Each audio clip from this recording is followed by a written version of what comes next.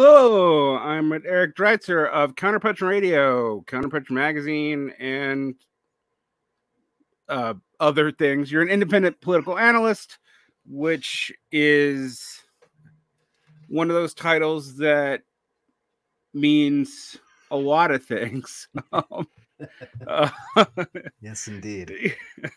Uh, generally, it means I don't have a think tank and I'm not an academic, but I do research. So that's yeah, that's the general scope of it. Um, Counterpunch. You know, Counterpunch is a magazine that I have had an on again, off again relationship with the entire time on the left, going all the way back to when Alex Cockburn was alive. I have been on record as saying some pretty negative things about like Alex Cockburn and some of the stuff he allowed at Counterpunch in the late aughts. Um, I've also wanted to give you guys credit for really moving away from a lot of that over the past 10 years and people barely noticing. and, uh, what I mean is like publishing things like Israel Shamir and stuff like that. Um, and I find I, I say that because I've been increasingly over the last two or three years impressed by the fact that the editorial line over at Counterpunch has been pretty diverse and pretty fair and factual about the situation, first in Syria and then in Russia. And as a, a person who's observed the Syrian situation and been incredibly frustrated uh, with both the Western allied narrative and, frankly, a lot of the anti imperial narrative on it. Um, I thought Counterpunch's coverage was actually pretty good starting about 2014, 2015. Um, and on the Ukraine Russia war, I thought you've been incredibly fair without dipping into NATO or Putin apologia, um, which has been kind of hard to do. um, I have come to the conclusion that it's a trying time to be an anti-imperialist when everything is a kind of dirty imperial proxy war and it's very hard to put your finger on exactly who is acting what uh, and what capacity where. Um so as a person who has been following the situation in Russia now, I mean, for a fairly long time, um, what do you think has led so many people to be unable to um, have a kind of factually nuanced position on this over a long haul? and I say this as a person who was wrong because I, I, for example, thought uh, Zelensky would cave earlier, or you know, at all, uh, about about two months into the war after it was clear that that it looked like NATO was willing to allow it to become Afghanistan to on the borders of Europe, but you know, I like I said, you, one should not play the prediction game probably, but uh, what do you what do you see as as like a lot of why do you think so much of the left has been unable to like come to a coherent position on this well, if we're talking specifically about the current situation in Ukraine, um, I think it's very clear that the nature of the conflict itself has thrust everybody into awkward positions politically. Um, for many of us, I think it's probably worthwhile to take a step back and say that for many of us, and I speak for myself, but I obviously am speaking for a lot of people, probably of my generation, uh, especially those who sort of came of age around 9 11 and the uh, Iraq War, the second Iraq War, Bush, W. Bush's Iraq War. Um, for those of us who came of age in our politics at that time, I mean, the United States was imperialism. Imperialism was the United States. Imperial wars around the world were U.S. wars. These were one and the same. And we understood global imperialism as being a, a system that was headed by the United States and that states basically had to fall in line with that and so forth. So we had a fairly cohesive, fairly simple, and yet fairly uh, grounded analysis of the situation globally. And that was that if you are an anti imperialist, you are also able to be simultaneously anti war and anti imperialist. Why? Because every imperial war was a US war we this was a basic understanding for a lot of people um, especially through the 2000s the war on terror leading up through you know into the current period and part of the reason why it's been difficult for a lot of people is in recognizing the nature of the current conflict as one that is not merely a US war is one that is much more complicated, one that has many different motivations, many different facets to it, but one that needs to be understood. And I think this is where some of the difficulty lies is in understanding Russia's call it sub imperial ambitions, both within its regions and in terms of reconstituting its quote unquote sphere of influence, right? And so what we now see is that we have a kind of imperialist war, a neo colonial war that doesn't fit neatly into this sort of uh, uh, cookie cutter worldview wherein all imperialism is US imperialism. And so now we find ourselves having to uh, sort of come to it come to a decision about how do we understand the nature of this war and how do we situate ourselves as being truly anti-imperialist because how can you really claim anti-imperialism and simultaneously cheerlead an imperialist conflict of this kind and so again we, we there's this sort of awkward tension. And you see some uh, on the left who then find themselves having to kind of twist themselves into pretzels to justify support for uh, NATO arms flowing into Ukraine. Simultaneously, other self professed leftists have to twist themselves into pretzels to find ways to excuse what are obvious war crimes, crimes against humanity, and so forth. And so, I guess to answer your question, how did we get to this point? We got to this point because we were never able to evolve a more nuanced politics on these issues. Yeah, I, I was reading uh, Carl Bajer um, recently, and he was pointing out that while many in the global south uh, have sympathies with Russia, almost everybody thinks Russia started the war. Um, and it divides a lot of a lot of international communities. For example, uh, in Palestine, it's a highly divisive area era um, era discussion, and frankly, it's one that's weirdly classed. Um, uh, so when I've talked to Palestinian activists, a lot of the activists seem to think that the situation with Ukraine has put Palestine in even in an even worse uh, situation in, in, international law. But there are elements of, say, um, say Hamas, uh, and it's and it's you know uh, it's hard to even say working class at this point because it's been shut out of labor, highly lumpenized base um, eh, because of Israeli policy. Uh, you know, just likes to stick in the eye of the U.S. and the West, um, and yet it's hard to square that with with everything going on and how Israel, for example, has been able to reposition itself as a kind of broker um, between the West and Russia. Um, and that's been that's been fascinating to watch. You know, I spent a lot of I spent until 2009 and uh, 18 to I was mostly outside of the United States. So um, I have connections in a lot of countries, and there's a lot of general sympathy for Ukraine. There's not a lot of general sympathy towards NATO outside of Europe, um, from what for, anecdotally, um, and people seem pretty. A lot of people outside of the West have pretty complicated views on on Putin.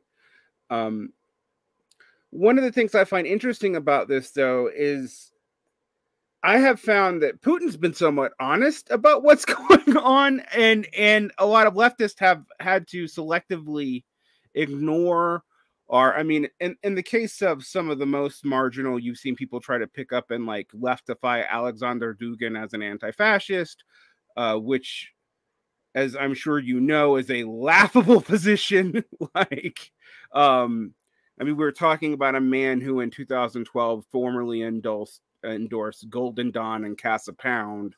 Um, as an anti-imperialist movement and explicitly called for in European countries um, the encouragement of national Bolshevism, um, which is at minimum fascist adjacent, uh, and even and sometimes had had uh, had soft ties to the right in Ukraine, depending on the situation.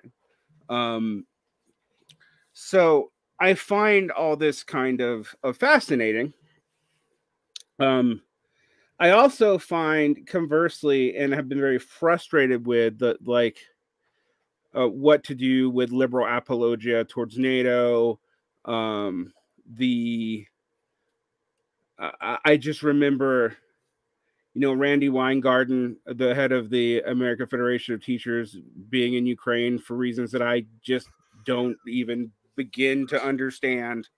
Um, uh, the the political narratives around this. I mean, I, I, would like to remind people that the Democrats were were calling, you know, you, the the Western Ukrainian government klepto, kleptocratic not that long ago due to uh, Trump um, engagement with them. I, I, you know, part of the whole impeachment process in, tw- in 2019 was tied to this, and our memory here has been quite short. Um, but I also have have stated plainly, I can't, like, I can't, for example, oppose Ukrainians wanting about anything they need to do to get an occupying force out of their country, particularly when the the prior norm um, and the ambiguity over uh, the Russian sympathetic breakaway regions um, are independent republics, depending on your political perspective, meant that there was no way that Ukraine could join NATO um, anytime in the well, as long as that was going on. Yeah, I, I go ahead. Sorry. No, no, I'm done. That's a long. That's a little monologue. I'm not sure I actually had a question. Yeah, well, that's what I was. That's what I was trying to glean. Was what was there a question there? I mean, yeah, I think that. um I think that it's to me at this point I, I, just it's hard for me to understand how people can call themselves leftists and then at the same time try to simply ignore the very basic principle of the solidarity with people defending themselves. I mean, this is a this is a country that's been invaded by its larger, much larger, and former imperial neighbor. Uh, this is a country that has been uh, at various times forcibly uh, you know made part of russia and or the soviet union for you know a, a what a, at least several centuries, depending on where you want to place that. I mean, the end of the Polish Lithuanian Empire, maybe if you want to, you know, go back that far. But in any event, um, you know, we find ourselves again in this very awkward uh, position where a lot of people who have, uh, including people that I used to call friends and comrades, you know, that, uh, you know, profess to have an anti war, uh, anti imperialist politics that are just, just lying, just straight out lying about what's going on over there. I mean, as you noted, and I think correctly, Putin at various times, I mean, Putin lies, of course. He, you know, like like all leaders do.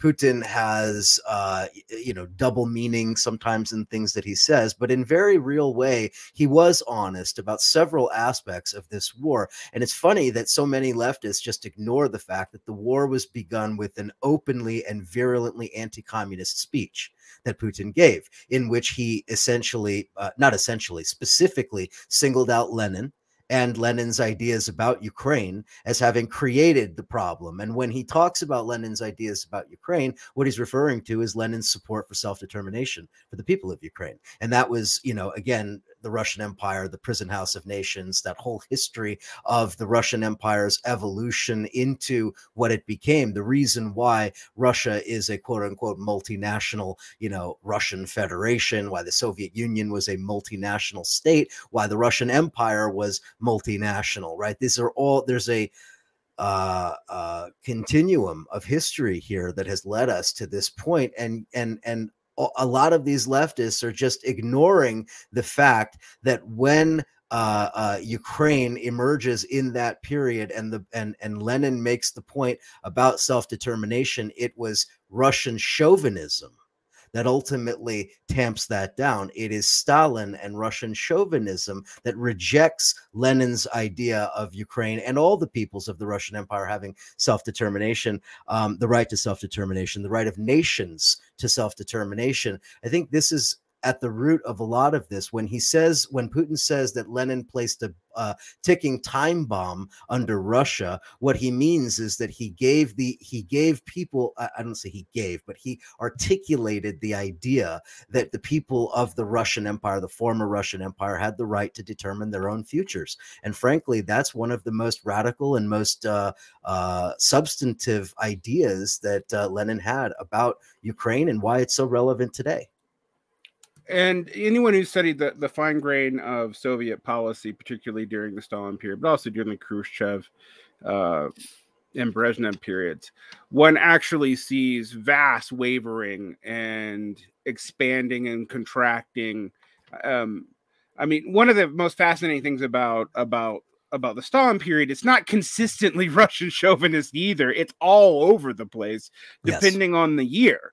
Um, but that Russian chauvinism was allowed and encouraged, and in many ways, in the American vernacular, when we study this, if you're not a Russian speaker, you don't even pick up that um, the the distinction between Russian and Soviet, because in the American mind, they're practically the same thing, still to this day.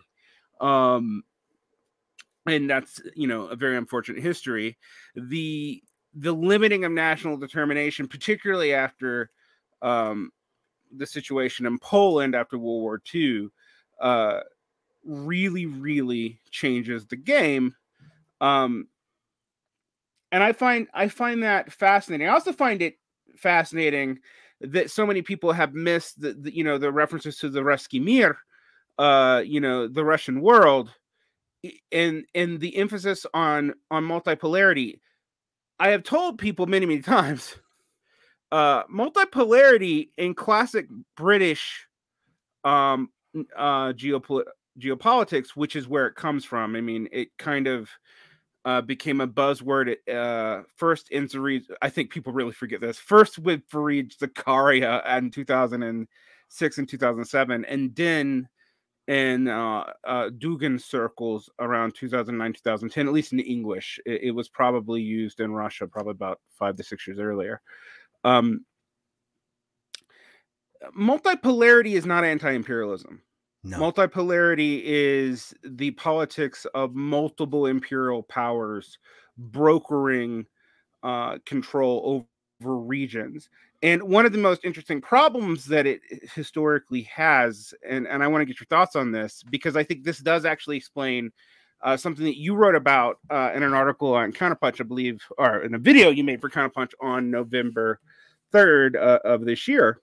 Um, why the global South, particularly Latin America, has trouble figuring out how to how to pivot itself on this. Um, in a multipolar world, uh, small nations know they need a hegemon. Um, and it's best if the hegemon is far away. So Baltic states have every incentive to appeal to the US, and like Bolivia has every incentive to appeal to Russia and China. Um, there's kind of the the obvious thing in the room that I think you and I can talk about a little bit later is that China's position on this and, and the effects this has had on China is not nearly clear uh, as clearly uh, pro Russia as either the United States nor many pro Chinese leftists want us to believe. Um, yeah, I totally but, agree. I agree. Yeah, yeah, in fact, I think it's really hurt China in a lot of ways. Badly. Um, and and also exposed China to the United States and to others who may have built up China in their minds more than was probably correct. Yeah, well, this this is one of the the things that I have, you know, been thinking about for many years is that a lot of people who talk about this don't actually know. Like they, like someone, for example, told me, "Well, isn't isn't uh, Russia autocracy?" And I'm like, "It is on on food and on mineral wealth, but they don't manufacture that much anymore and haven't like pretty they haven't manufactured com- consumer goods pretty much ever um you know even even during the the the, the bourgeoisification of the russian empire did they not manufacture that many consumer goods. That really wasn't what they did. Um and uh with the failures of of Khrushchev, I mean, that was one of Khrushchev's major points was to develop a consumer goods economy in the in the Soviet sphere, and that was largely abandoned for main, for for heavy industry and military development. Um, that largely was maintained during the oligarchical period of of the uh, of the early 90s with Western sanction because the last thing I think the West wanted was a major industrial power actually having consumer goods on the market to compete with Western or even Chinese goods. Um, so, um, particularly given uh, how educated the Soviet uh, workforce was relative to the rest of the world, and honestly, even still is. I mean, the po- post-Soviet Russia uh, the the education level of the average Soviet citizen is higher than the United States. Um, so that leads us in a kind of of weird place, and and for me, uh, it makes sense that a lot of people in the global South, at least a lot of political leaders in the global South, would feel the need to at least pay lip service to Russia. But you would you like to go into your observations there?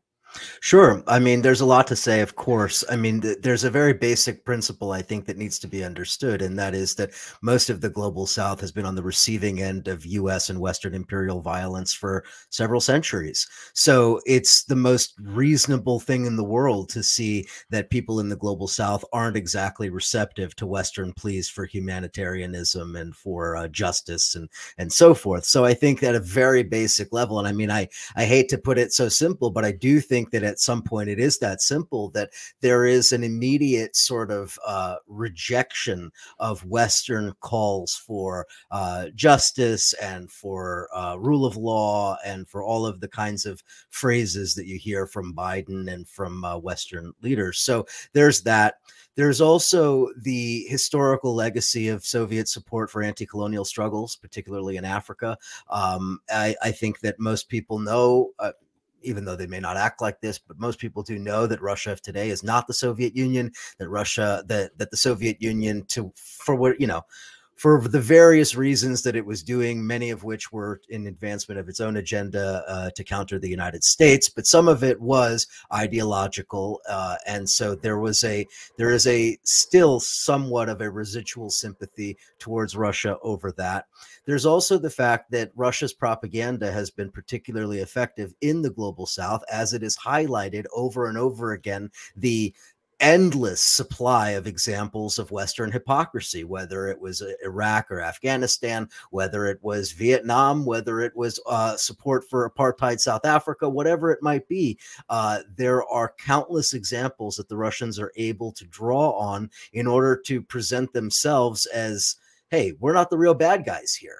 You know, I think we all know you know, wink, wink, who the real bad guys are. And that actually does land in a lot of places. And you have specific examples in, in Africa and in a country like Mali. Uh, the military junta that's in charge of the government in Mali is backed by the Russians. Their security is guaranteed by the Russians. They, there that country is in effect, um, maybe not occupied by Russian troops, but it is something of a sort of satellite of the Russians now. Same in Sudan, a military junta there, which is, by the way, repressing a very vibrant democracy movement that has been in the streets on and off for several years in the face of intense repression after the uh, ouster of uh, Bashir from power there several years ago. Uh, the Russians are providing security to, the, to, to that government as well. And oh, by the way, stealing their gold out of that country. So Russia is acting in a sort of a junior imperial, junior colonial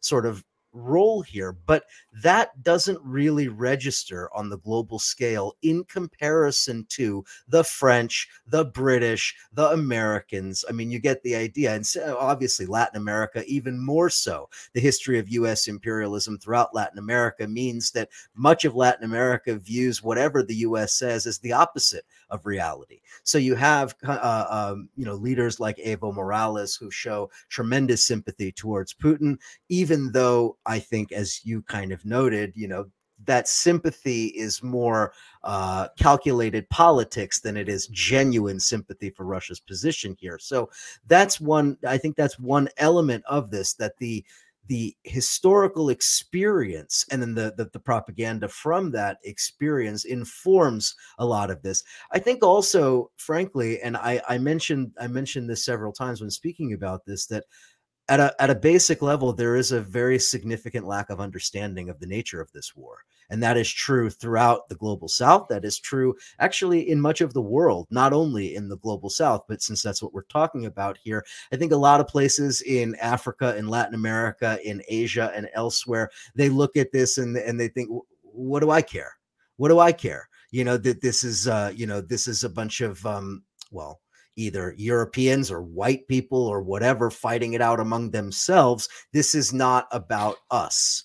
Okay, that is a very real sentiment that you get from a lot of people. I've spoken to uh, people in India, I've spoken to people in other parts in Asia, in Latin America. The fact of the matter is, a lot of people simply say, Yeah, it's not good what's going on in Ukraine, but come on. You know what I mean? And like, unfortunately, that's as that basic sort of simple lack of understanding is a big part of this. Very few people understand how Russia became the power that it became, what the prison house of nations meant, what Russian colonialism was about, why Russian culture and language spread in the way that it did, and why the, as you noted, the Baltic states, the countries of Eastern Europe and elsewhere, why they're so uh, hesitant to believe any positive uh, uh, ideas coming out of Russia. So there's a historical legacy that I think a lot of parts of the world simply don't understand. And to the extent that they do understand it, they just don't care yeah, it, it. What I find fascinating about it is it seems like there is kind of an attempt to build a Cold War politics without actually any differing ideology. Exactly. Yeah. Which is kind right. of which is which is which is kind of maddening actually because it's like, well, as I said, from the standpoint of Bolivia, I totally get what Evo Morales would say that. Of course. Is it is it necessarily the the, the smartest thing to do? Um, maybe maybe not it's geopolitically sort of savvy um I think where you see real nuance actually is China. For example, I pointed out that during the beginning of this war, China never tapped down an internal protest around uh, against Russia on this. Um, they allowed pretty vociferous and somewhat nasty debates in Weibo uh, in Weibo spaces around um, uh, support of Russia there there has never been a you know there's a there's a sort of like tacit support uh, uh, of Russia's right to national sovereignty while also talking about Ukraine's right to defend itself, which is often left out of Western na- narratives about this. Um, which is not to say that China is totally innocent. In fact, China isn't and is having all kinds of problems related to it, to the the acceleration of conditions which this has caused. Um, one of the things I think China has been most frustrated by from people I know who who follow China and from Chinese people I know is that before they started having their COVID problems recently, um, they thought they were able to make better trade deals and whatnot uh, with with Europe, particularly Germany, which there has been some outreach successfully on with the the SPD and the Greens, but they met a wall in Europe. Uh, Europe was unified in ways it has not been, um, even in lieu of an energy crisis um, from European European faux greening. Um, so it's it's going to be interesting where this all goes. The Chinese, yeah. I mean, look, I I expected I expected that when when China sort of presented itself, or maybe China allowed others to present it as this, you know, what did they, what did Putin and Xi Jinping call it? A forever partnership or mm-hmm. whatever they, you know, whatever they said, a forever friendship, whatever the inane phrase they used was, right? So they were trying to convince everybody that they were just shoulder to shoulder in lockstep. Putin certainly needed to do that, right? But that was always a major question because it would it became clear really from the very beginning of the conflict that the sanctions were coming economic war from the west was coming and it was coming quickly and it was going to smash into russia like a ton of bricks which it did. And of course um, and by the way that pun on bricks was not intended at all in this multipolarity context here. But um but it's funny yes uh, well it's that's debatable. that's certainly debatable. Um, I think that um, the Chinese, you know, they were in a very strong position, right? One expected the Chinese to scoop up a lot of market share inside of Russia that had been lost by these Western corporations that were fleeing out of the country. That didn't happen. The Chinese didn't come in to try to buy up Russian industries for cheap. Russia didn't allow it the Chinese weren't all that interested in buying up what they see to be junk more or less coming out of Russia economically, junk assets, assets that can't necessarily be traded on the international market and so forth. So it was really clear from the beginning that some of the economic uh, partnership that was assumed wasn't really there. Now, the other question, I mean, one of the big ones was microchips where are the Chinese in providing microchips and processors to the Russians? Well, severely lacking is the is is the operative word. Why? Because the Chinese are terrified of being caught up in an economic war from the West as well, being targeted by the West for you know helping Russia to evade the sanctions. China has allowed uh, in in many ways it's allowed itself to be played into this very weird corner. And as you noted, China, I, I, did a I did a whole video on this at some point uh, several months ago. China was viewed positively by almost uh, by by overwhelming majorities in almost every major European country before all of this in 2018 and 2019. China was seen in many ways as kind of Europe's potential alternative to total dependence on the United States. And look at how quickly that has all eroded. The latest opinion polls, I, I, I don't have the figures in front of me, but in countries like uh, France and Germany, where China had, you know, uh, positive approval ratings of like, you know, 60, 70, 80%, that's now plunged. China is now essentially locked out of Europe economically. Europe is now much less interested in anything to do with Belt and Road, the, you know, China's uh, One Belt, One Road initiative for global economic yeah. development. And um, adding in all the currency crises that are happening around the world and the sovereign wealth issues. We, we Belt and Road is a fish is, is more or less. It's gone from being what I'd like to call the the mega Marshall Plan. I mean, it was twelve. It's basically attempting to do to uh, the the Eurasian landmass what uh, the U.S. did with Western Europe and the Anglophone countries, um, which was to build a integrated economic order and a non-hostile political order.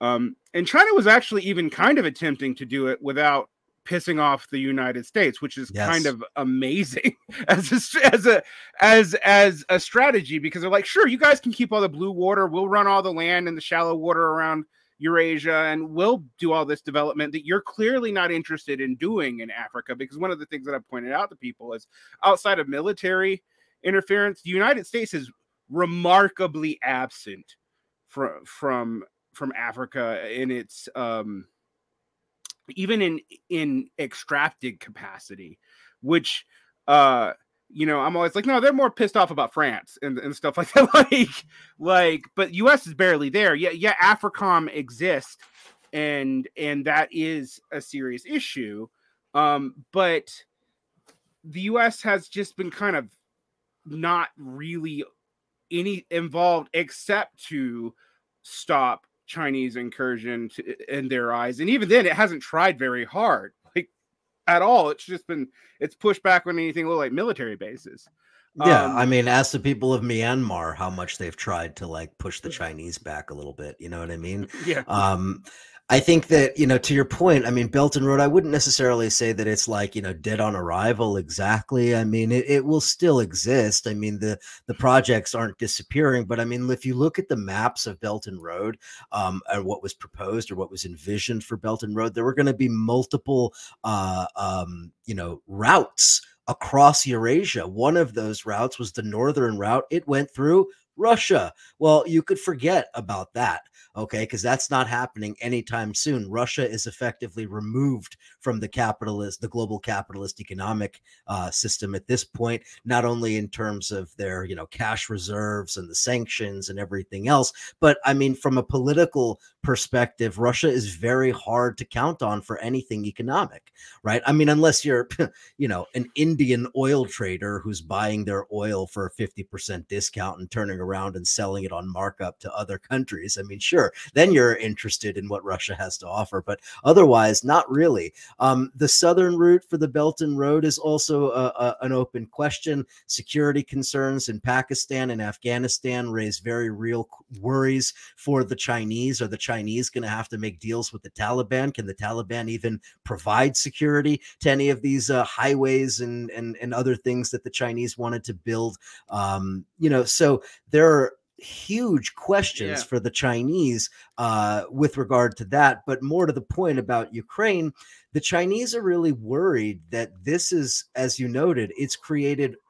It's essentially split the global economy in, in some ways, not so much East and West, but Russia and China get isolated here. The Chinese currency can't do what the US currency does. It doesn't. It's not a free floating currency. It's not the kind of market that people can, uh, you know, park their money in. China can't operate in the global economy the way the United States can, and that makes a lot of countries around the world that were previously in bed with the Chinese extremely nervous.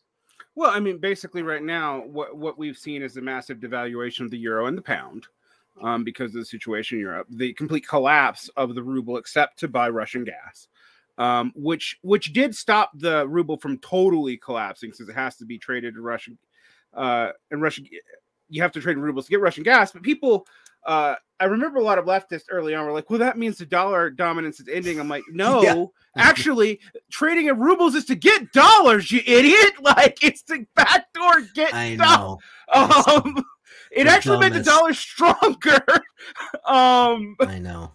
Um, it's the dumbest thing. It's just the the end of the dollar is the dumbest uh constant discussion on the left because like I mean if you look at it I mean everybody anybody who wants to see US imperialism collapse or you know you know taken apart or whatever understands that the dollar is at the heart of US imperial power. This is clear but just because the you know just because things are changing globally it doesn't mean that the econ- that the global economy is somehow going to be able to operate without the dollar. The US treasury market for god's sake is is bigger than anything else anywhere in the world. The do- there is nothing that comes even close to the dollar. There was an analysis done by the IMF recently. Um, I did a I, I don't remember. I did a video on it at some point. But it basically looked at the move of uh, global global reserves held in dollars over the last 20 25 years. And it went from like something like 75% of global reserves being held in dollars to 69%. You know what I mean? So, I mean, it moved. The dollar definitely decreased its total global share, but I mean, it didn't decrease it to the ruble. It decreased it to like the Swiss franc, the Australian dollar, the Canadian dollar, all of these other local currencies that can be used by those countries in various capacities, right? So, like again, I, it's just it's a misunderstanding of the nature of uh, U.S. imperialism of the of the global uh, capitalist system, and uh, more to the point, it also completely misrep- misread what Russia's own monetary policy was doing. Russia was concerned about total free fall of the currency. So they jacked its interest rates to 20%. What do you think that did to every, to every Russian consumer? I mean, every Russian consumer is significantly poorer now than they were when this war began. And as Boris Kagarlitsky told me when I was uh, chatting with him a couple of months ago, things were bad before the war things are getting worse now and they will be worse tomorrow and worse still the day after that. And that is how the people in Russia are viewing the current situation. And I don't think that should be overlooked either. One thing I think we, we really have to uh, deal with um, on this, you know, I talk about this from the standpoint of economics and we can talk about it in, in military. I always think you learn more. I always tell people if you want to understand uh, global politics, don't read definitely don't read like Foreign Policy Mag. F- don't read Left Wing Mag. Times. You read the Financial Times. Times. Actually, I would say now read read European and, and British financial papers.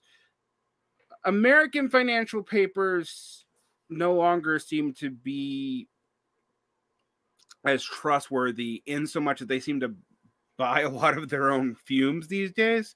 But I also don't suspect they're being read by by uh, by businesses in the same way they used to be either, um, because everyone has access to things like the Financial Times. Best coverage of the best coverage of the war, without a doubt, is the Financial Times. Yep. I I I, I mean that pink paper, man. They are very very good at covering the issues.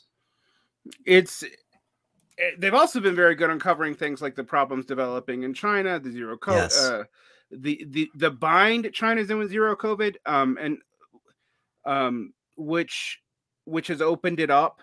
Uh, one of the reasons why it's such a bind is China has a lot of vaccine hesitancy, which people in the West don't know about. And I, I actually don't have a good explanation as to why it does. That is still not clear to me.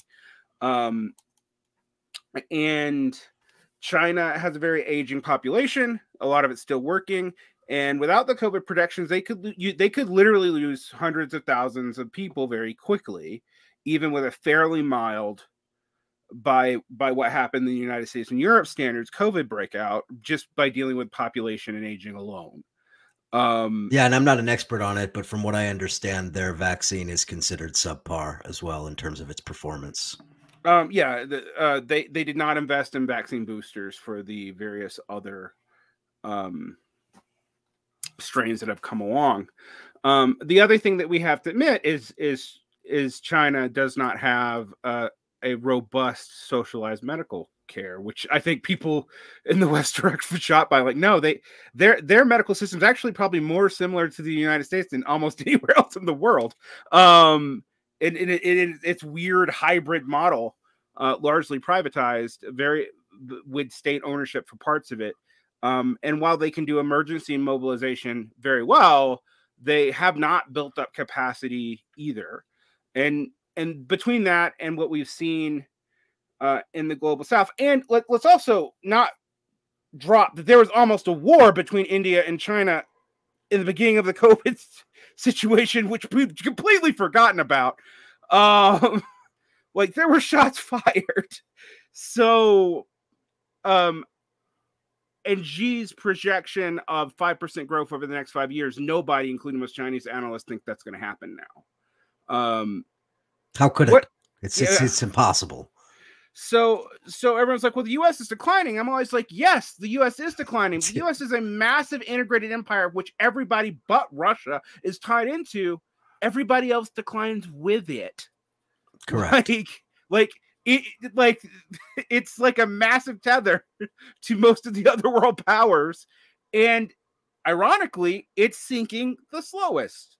Um, I mean, I think we've seen Europe go off just like like if you looked at like inflation, uh, import export ratios, uh, cost of living, the value of the euro and the pound. We've just seen like Europe basically lose its status actually as one of the premier powers incredibly quickly in this situation. Um, it's still a dope global dominant pound, don't get me wrong, but it, it used to tie with the United States and China in that whole three way most productive um, economies in the world thing. And that is not happening anymore. Um, and all this is a result of basically, you know, and, and this is where I am somewhat sympathetic. I, I'm not a person who, who, for example, will get my views on Ukraine by watching Oliver Stone documentaries. Um, no, no. Uh, hmm. um, well, but, now I now I now I now I consider your views suspect. Yes, sure. Um, I I I, uh, I I do I do think there there is a the West, and I don't just mean the United States. And this is one one thing that I've pointed out to people. Like I think uh, the deal that was almost brokered right before Euromaidan was not scuttled by the U.S. It was scuttled by by uh, particularly Germany, but by the EU in particular, um, by by breaking down the EU deal and the deal uh, which would allow the Ukraine to have a kind of trade relationship with Russia because Russia was not opposed to um, Ukraine being part of the EU. Uh, in fact, that might have been good for them. It was opposed to Ukraine being part of NATO. Um, and traditionally, uh, you know, when when when the EU gets retracted, NATO gets offered. That is how this has gone, and I definitely see how a bunch of different forces took advantage of that.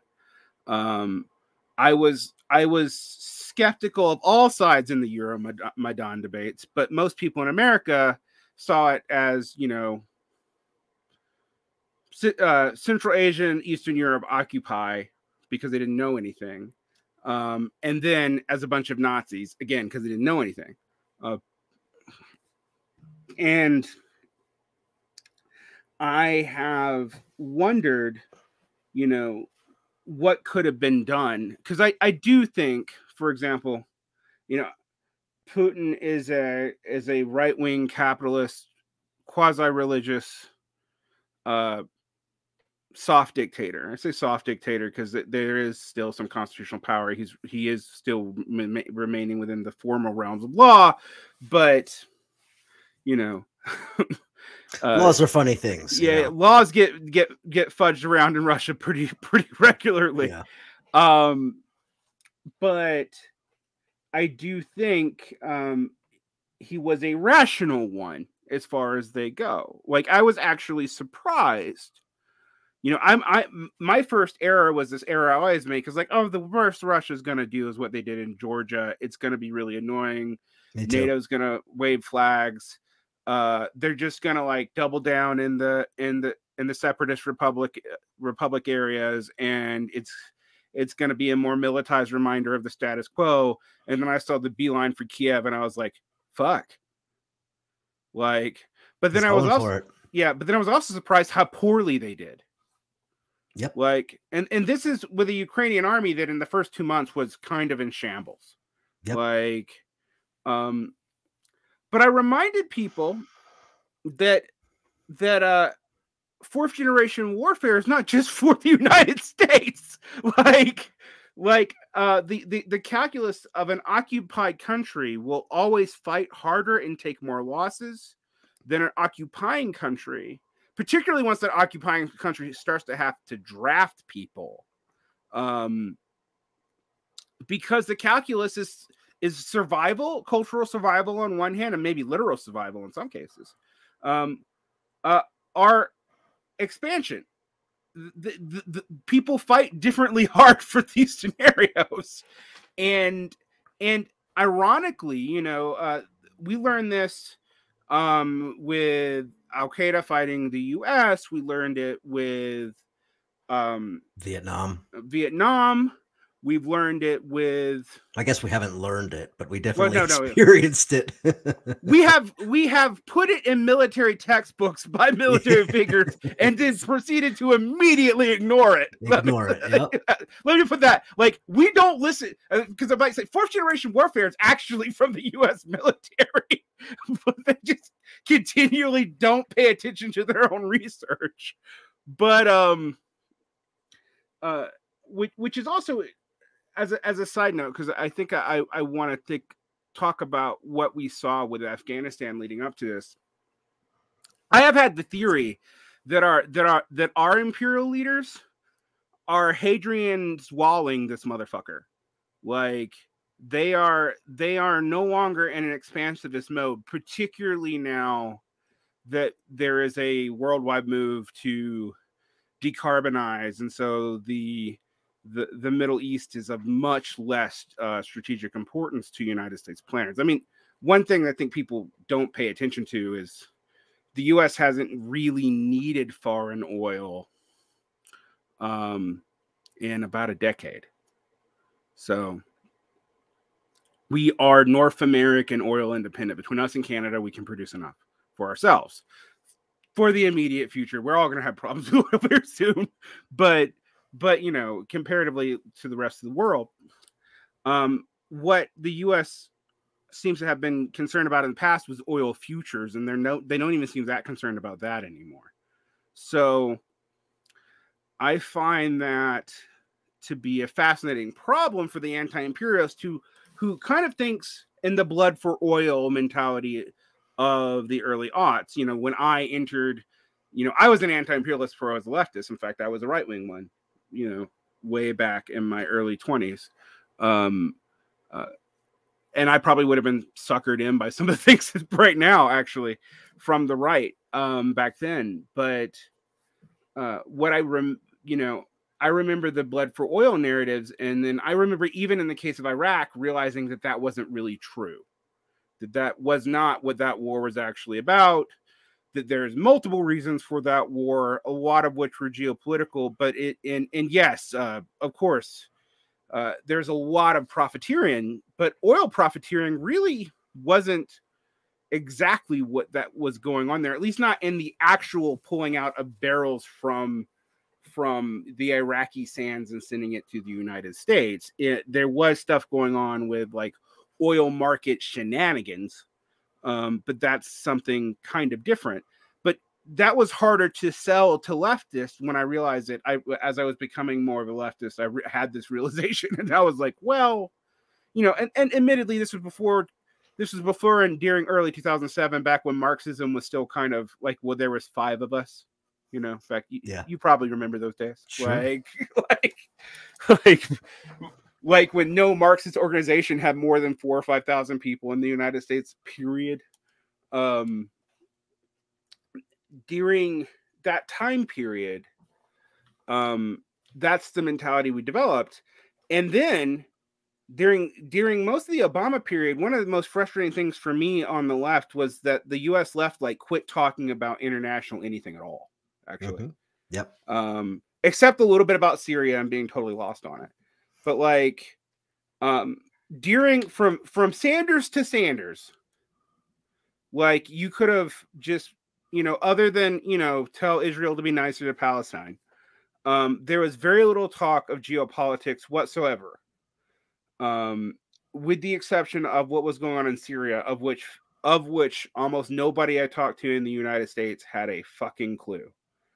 Um, you know, uh, yeah, me me included for a lot of that period um, on on a lot of these issues as well. I mean, you know, I I readily admit that I didn't fully appreciate the complexity of what was happening in Syria from the beginning. I saw the when uh, the initial uprising happened in 2011, and immediately followed by what became the sort of early stages of the violent repression of the uprising. Um, you know, I basically coming off of the you know, emotional uh, uh you know whatever trauma or whatever you could say uh, of what was done to Libya, which had been just several months earlier.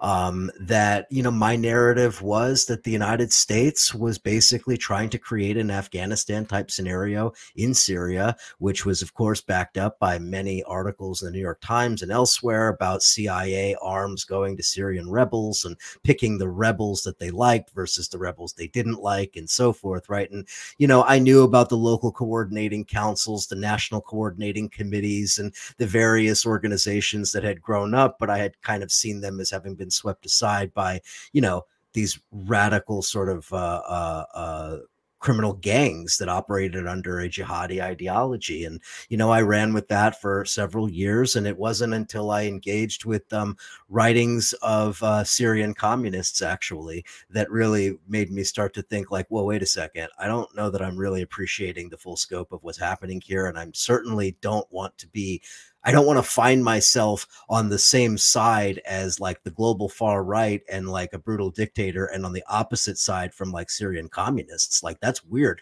That's a weird position for me to be in. So I had to reevaluate that. I read a lot. I talked to a lot of different people, and I sort of came to appreciate that I had gotten a lot of it wrong. I'd gotten some of it right and a lot of it wrong, and that was also true in the Maidan period and in in 2014 in Ukraine as well. And part of that has to do, and I think it's important to note because this is an important phenomenon for people to understand.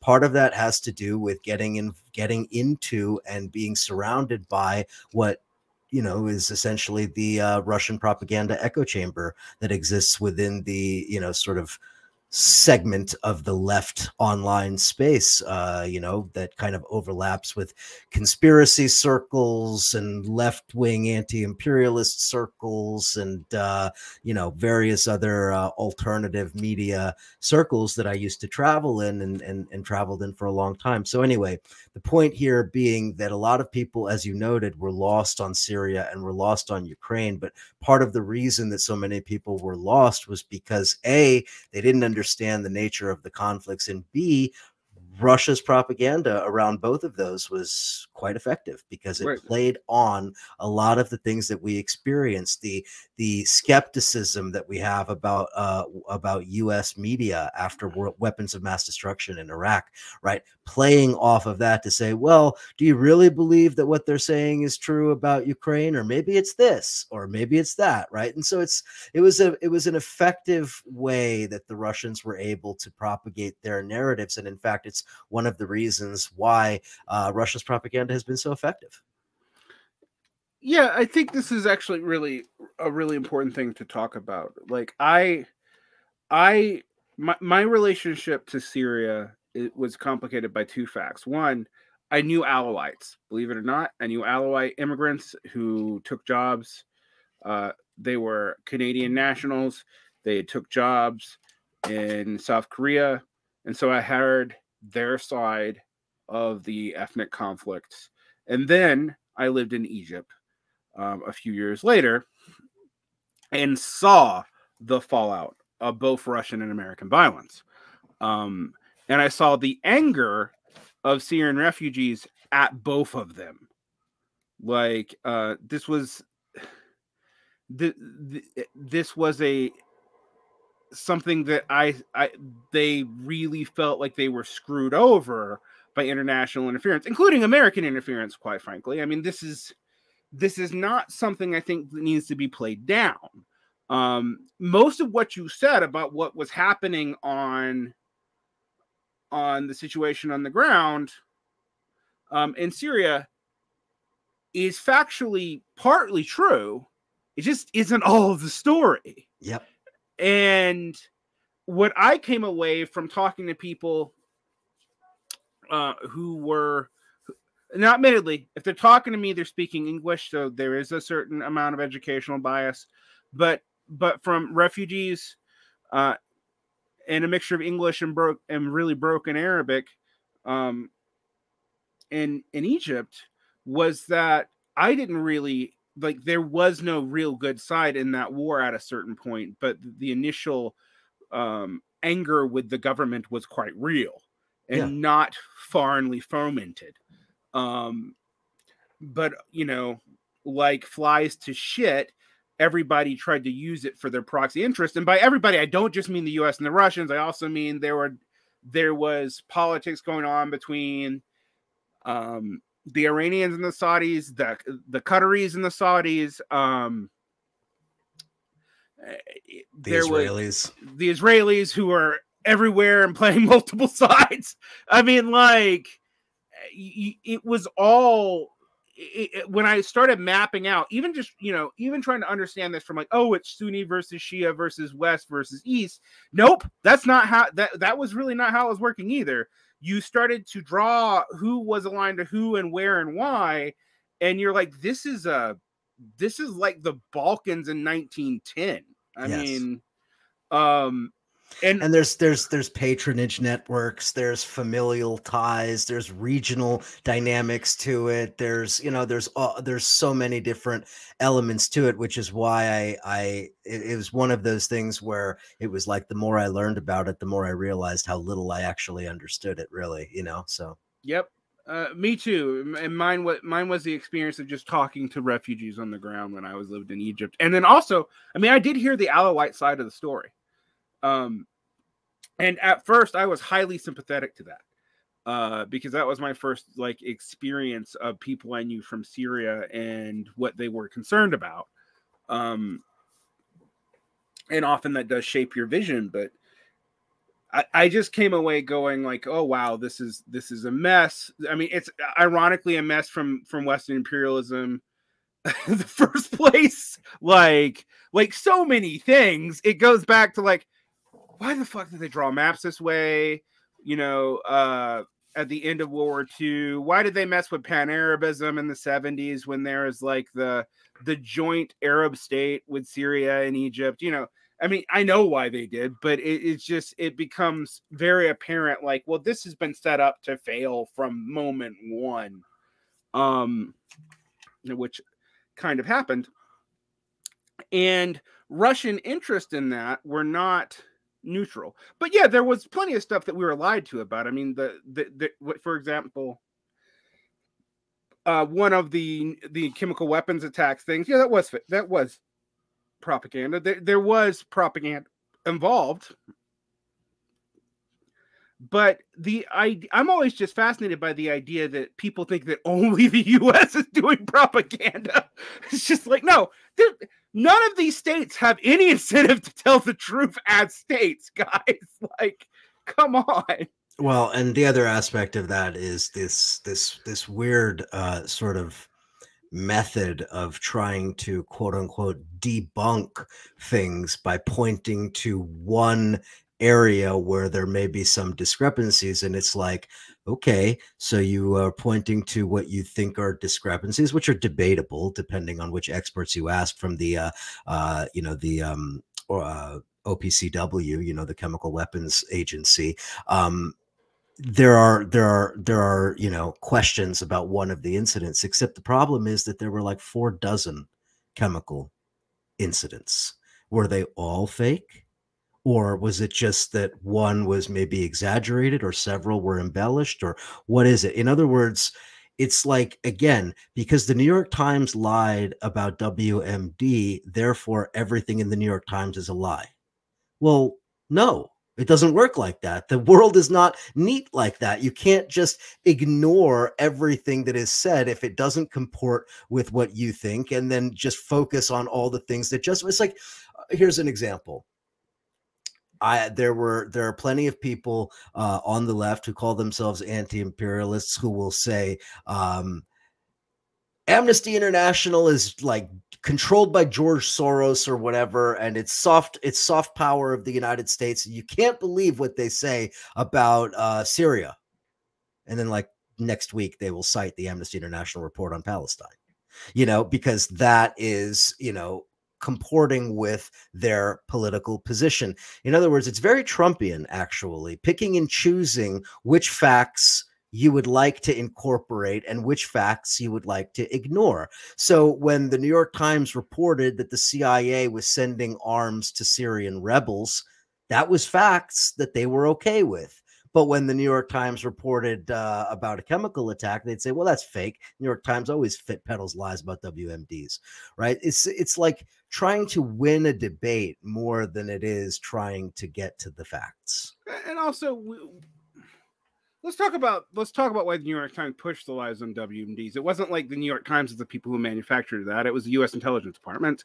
Actually, it was the British intelligence departments giving what the U.S. intelligence department wanted uh, to it.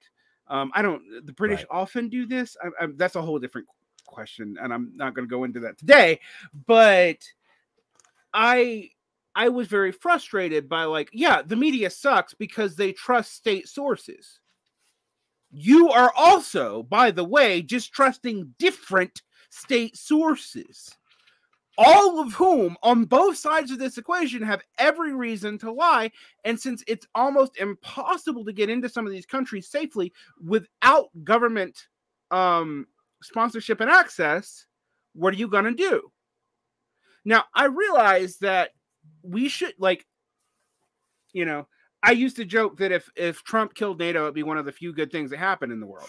Like, um, and I wasn't totally joking about that, but but it what it is interesting to me that this is why people believe bullshit like horseshoe theory actually is like well where do you hear this stuff from you hear it from marginal political actors who have who have very little accountability and whose money sources we often have no idea what they are mm-hmm. um um now, does that mean you should trust the New York Times?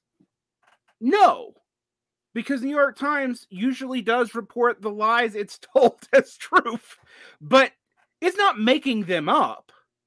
It's it's just trusting without verifying. Um, and I'm actually, you know, that's probably true in a lot of cases. Uh, back when RT America was still a thing, and I'm, you know, I'm mixed on what happened there. Um, I always said like on certain things you should trust you know RT about the US government because it has incentive to tell you the truth but on certain things you absolutely shouldn't because you should think about what it would have in, what as a state media operation would it have incentive to at least play down? Not necessarily lie about just play down. What would it have an incentive to overstate about the US um this is true not just for that it's true for Al Jazeera Al Jazeera English and Al Jazeera Arabic are entirely different newspapers for a reason. Um, it's true for fuck. It's true for the BBC. Like it's true for NPR. Like we know we have to read these state sources critically, and we know we have to read non-state sources who trust state sources critically. Um, that doesn't change when it's another state. Like um, there are states that are more responsible. I tend to find China pretty responsible on a lot of things, um, particularly when it's talking about uh, foreign influence. I, I, you know, I, um, I think one of the things that I said that pissed a lot of people off recently is China's the most responsible capitalist government. And they got mad that I called China capitalist. I'm like, what? But they are. Um, that was the thing they got mad about. Yeah, I, I have weird fans.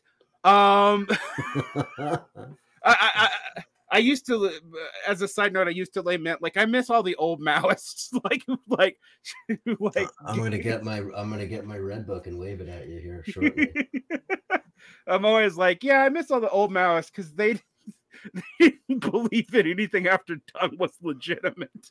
Um, but anyway, um, my my, I think the left, unfortunately yeah one of the one of the th- interesting things when we talk about the left we're also talking about left media spaces because like the political left in america pretty much doesn't really exist.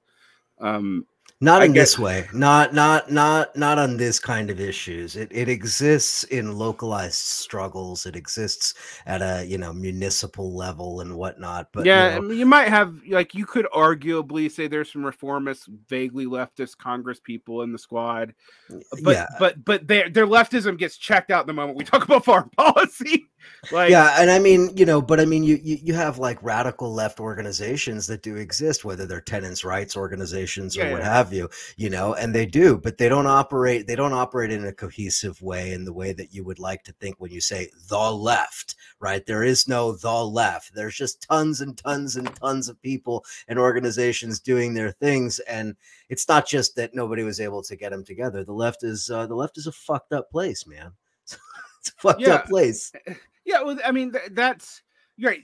The left is is we should think about the left as multi multi multivocal, primarily local. There there is no. It doesn't really go up to a national level. Um, it it doesn't have any real party representation. Sorry, third party people, you don't really matter outside no. of local stuff. Uh, and where you and this is what I find frustrating. This is what I kind of understood from the Bernie to Bernie period that I was talking about, where the left kind of just forgot that the rest of the world existed. um, we we always find geopolitics kind of in the worst way at the worst times. And what I mean by that is it becomes like a fandom in a time of left powerlessness. Like, and particularly after we thought we had power. And I think one of the things that the Bernie situation reminded us is we really kind of didn't. And we have seen where people cut whether or not they become progressive Democrats or whether or not they're willing to go back to what was, I don't know, the 40 year status quo of the left before that. Um, not, not that that's great, but it's just something that like we are back in the wilderness again. But my point is, we kind of always were. We never like the, the the the feeling that we weren't was kind of an illusion. Oh, I um, totally agree with that. I could not agree with that anymore. Um, and and uh, um, I find it interesting that that's when we focus on foreign policy the most because that's the thing that we have the least power about. And so I always talk about, and people wonder why I do so much stuff on. I do lots of stuff on foreign policy. I'm like because you need to know it, you need to understand it. Um, you need to you need to see it. If you're gonna build ties, you need to build ties closer to you in your integrated work chain. So that's going to be Canada, Mexico, uh, the Caribbean, uh, people more immediately affected like by U.S. imperialism because they're right here. Um, solidarity to people who've been victimized by us, but you do kind of have to have the realization that like yelling at the squad as much as they suck and you know call them out for hypocrisy all day i'm totally okay with that. Um but that's not having any real effect on foreign policy at all. Um and you have to to get to a point where we could have internationalism and actually affect on power and policy, we'd have to admit right now that we don't. And in so much that we're pushing different people's lines. And I also, you know, we've been talking about a lot of the Russia stuff. I mean, let's let's be very clear.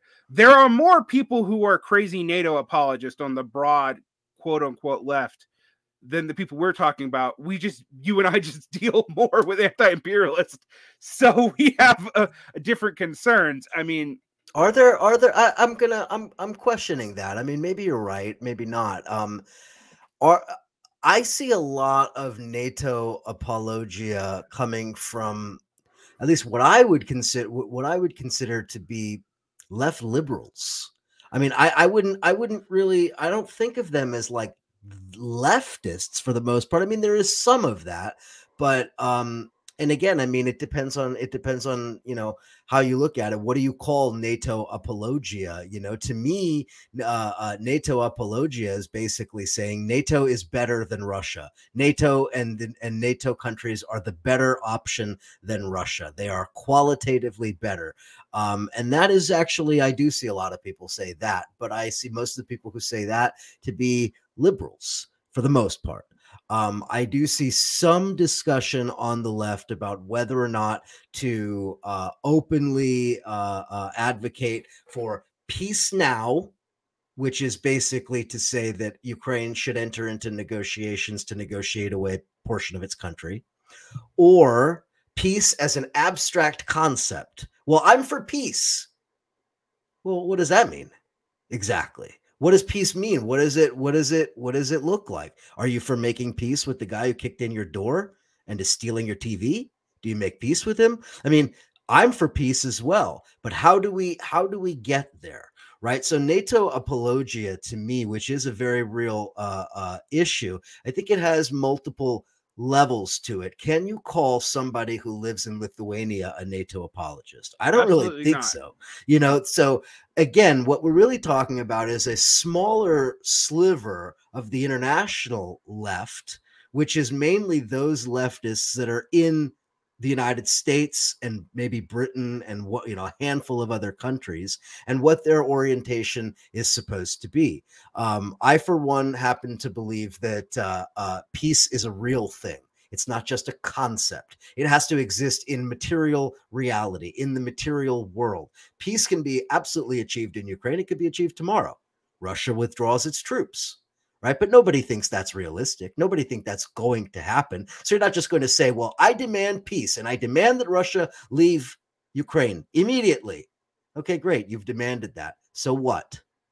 It doesn't mean anything. And this is where the performative politics comes in. A lot of the left likes to perform leftist politics, but doesn't actually engage in what real leftist politics would mean. So, to your point about having an ability to affect foreign policy, right? You have to be like on Ukraine, for example, you have to be engaged with people in Ukraine, trade unions, organizations in Europe, trade organizations and, and human rights organizations and others that are that are intimately involved to create pressure on governments, governments that maybe aren't the United States aren't as immune to pressure as the US government is. Governments in Europe and elsewhere, there are ways of doing this, but it requires uh, direct engagement with the people involved in the conflict or the people affected by the conflict and and uh, engagement at an institutional and an organizational level. The guys that are out there trying to make bucks on YouTube by you know cheerleading for a Donetsk People's Republic that doesn't exist,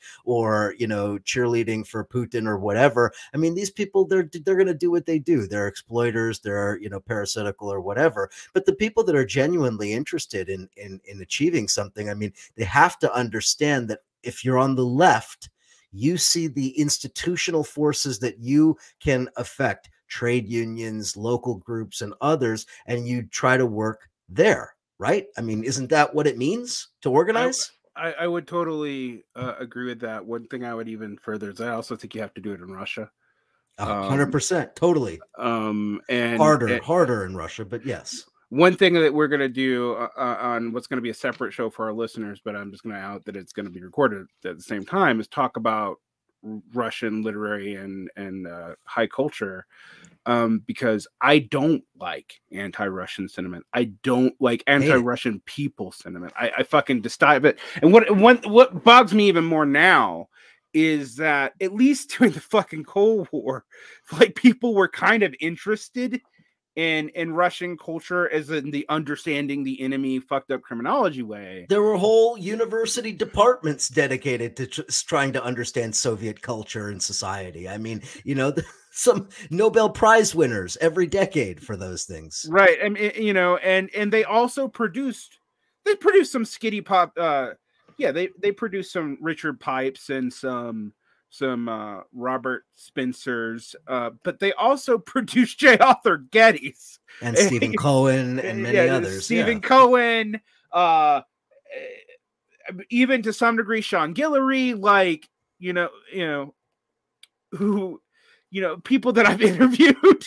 so it's it's it's important to understand that, um, and I am worried about the the shutting off to understanding the average Russian um, and the Russian mindset now, uh, uh, particularly in regards to Europe. Um, but also just you know, I mean, uh, it feels very similar. Like when people were protest, I mean, it, it didn't last very long. But when people were like, "Oh, I'm not going to sell vodka," and I'm like, "Dude, that vodka's not even made in Russia."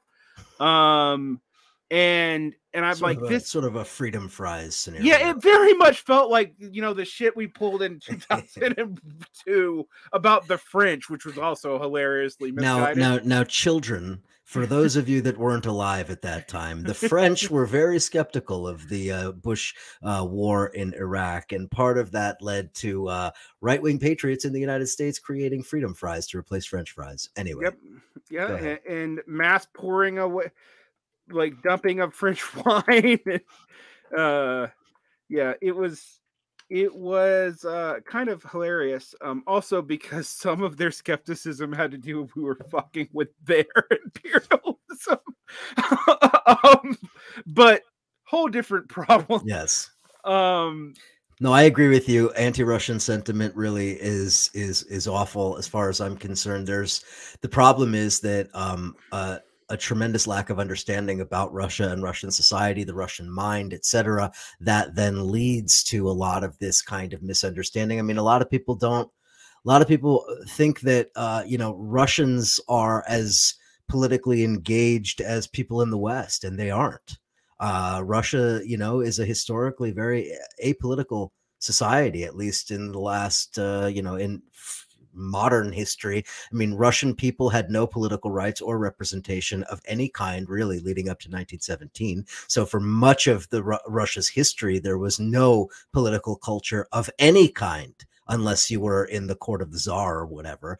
And then, you know, in the period of the uh, of the Soviet Union, for reasons that I obviously don't need to explain here, there wasn't a real politics. There was the party, and if you were involved in politics to whatever extent you could be, you were involved in the party, and the party was politics, and politics was the party, and that was that. Um, and um, you know, there was underground politics, I guess, to some degree, but for the most part, not. And part of the survival mechanism for Russians through the generations has been to stay apolitical, to leave politics to that 10 or 15% that engage in it. And unfortunately, that is one of the things that we've seen in the, we saw this in the early part of the war in Ukraine. A lot of people in Russia just didn't even, didn't even pay attention to it. I mean, it's like it's just like like another cut, like another planet.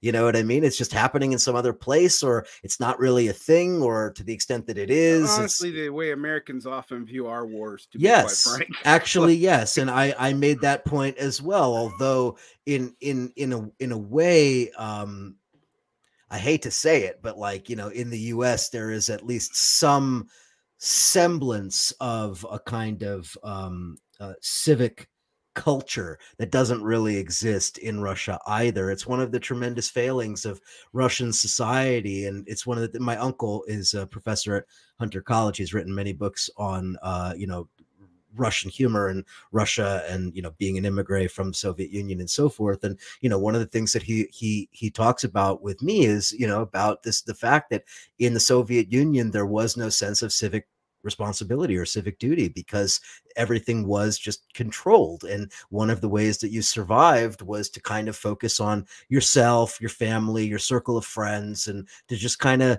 live that way you know and there is a sense of that um you know so anyway i don't want to go off on a tangent about that other than to say that uh i think that russian society is complicated and as uh and and very badly misunderstood and i think that you know as you already noted you know russia's cultural production is so I mean, it's so important for for for so many different reasons that it's a it's a real tragedy if Russia's uh, criminal war in Ukraine leads to a sort of I don't know a, a, a, for, a forgetting of what Russia is. Yeah, I mean, yeah. Um, I don't have many nationalist bones in my body, and in so much that I do, it is for old country in Bulgaria um, uh, and and Scotland. so because that's you know where my ancestors come from, and uh, and when I say that, I say that tongue in cheek because I really don't have a whole lot of patience for any kind of nationalism. I mean, even even Scottish independence, which I I, I guess I support because fuck the English, um, I'm a little skeptical of. Um, particularly now that the situation is what it is with the EU.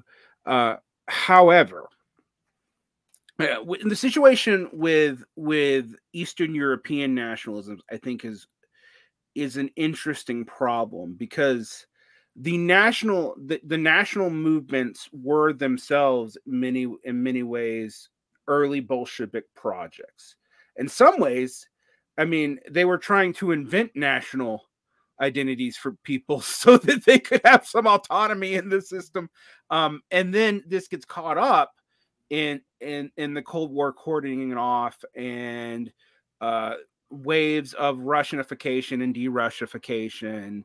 Um, and in a way, it becomes ironic because you know, one of the, I, I always do make the joke. Well, the only person who ever could figure out how to ethnically sort Central and Eastern Europe was actually Stalin. Even Hitler couldn't do it. Um, but in, in another way, like there's a real sense that after 1992, a lot of these places are dealing with the problems that like the rest of Europe and the settler colonial countries dealt with in the early 20th, late 19th century. Um, and so you know national solidarity uh, and that sort of thing has a lot more appeal i think when you don't have i don't know uh, a century and a half of it being obvious bullshit. Um, uh, yeah, uh, but behind you. so, you know, I mean, I and I think that to me, even Amer- like American hard patriots are not, you know, as nationalistic as they are. They're kind of not. They don't have a cultural nationalism really uh, that's consistent from to area. Uh, uh, that we could debate that, but like it's something that I've observed. It's like, well, the the MAGA people don't actually share a culture really. Um, uh, uh th- th- there is not a red state and blue state America. It's more like a bunch of fragmented cultures that project onto these political labels um, and a common language.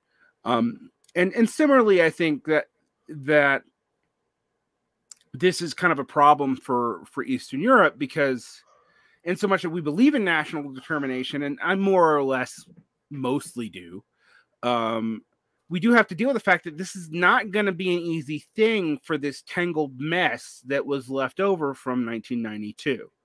And I, I, would like to remind people that if 1992 had not had happened, a lot of these problems would not exist. Um, uh, but you know, in many ways, we have no one to blame for 1992, and we can blame the West. But the Soviet Union did a lot to itself uh, to make that happen. Um, so I think as a left, we have to we have to reckon with that. And I think one of the things I think is so interesting about this time period right now, and I think we see it in like the liberals who like want to pull up Cold War imagery too, is we don't really have a good narrative for it. Where we the t- the period of history in which this resembles is pre the beginning of like the Fordist modern capitalist mind. Um, it is the 19th, the long 19th century that that this actually resembles more of than the Cold War. I've been saying that now for uh, almost a decade, actually, and like the more things happen, the more that seems abundantly clear to me and yet people reach for the you know the, the the last narrative where i'm like no you really need to go to like i don't know 1875 to start see and and just move britain to america. And and that's what you're actually seeing right now. Except what's different is we now have nuclear bombs which completely changes all the equations. Um and and I, I admit I don't know what to do about that. We talk about peace. Peace is a very live thing. I don't know how you deal with the situation in Ukraine without admitting that, like, yeah, it's going to be hard to figure out how to ever incorporate, say, Crimea back into the country. Right? I agree. I agree right. with you. I, I I agree with you. I mean, Crimea, unfortunately, is one of those issues that I I, as much as I would like to say that what's right is right, and Crimea should have never been forcibly, uh, you know, seized from Ukraine and annexed into Russia, uh, I have a hard time seeing how we get out of the situation we're in now, where Crimea is Russia, at least according to Russia.